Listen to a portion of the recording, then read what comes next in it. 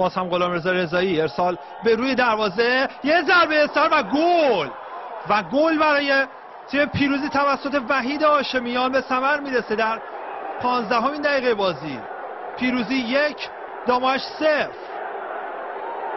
و خوشحالی هواداران حاضر در ورزشگاه.